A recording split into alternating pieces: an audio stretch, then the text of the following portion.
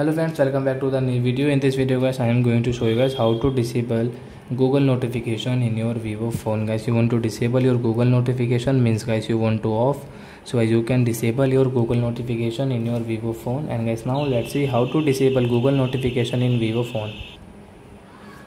So then first of all we will have to come on our phone setting to disable our google notification. And guys click on this notification. And guys click on app setting and guys click on most recent. And guys click on all apps and guys now find where is google google google google.